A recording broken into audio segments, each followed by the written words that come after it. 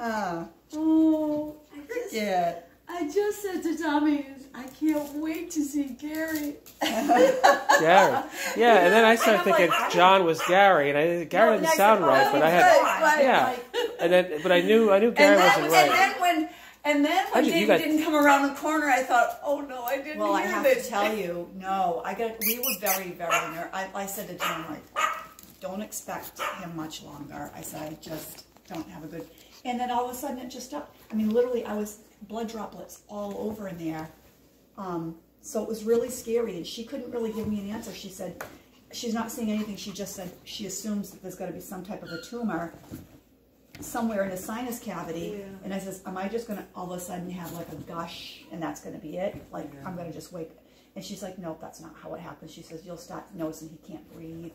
He's been fine. I mean, I'm not saying he never has, but he's always had a little, every once in a while, like a little snorky. You know, like they Yeah, yeah, tend yeah, to yeah. all get that. yeah. So, um, so he's been good. So I'm like, I don't know what it was, but whatever it was, he seems to have gotten healed slowly and gotten over it. But man, he's like a little Toyota or Subaru. He just keeps kick, you know, going and going and going. So we're thankful. So He's got a good spirit. yeah, he really does. Good spirit, a good home. What other? other do you thing? Yeah, What do you good think, loving. Cricket?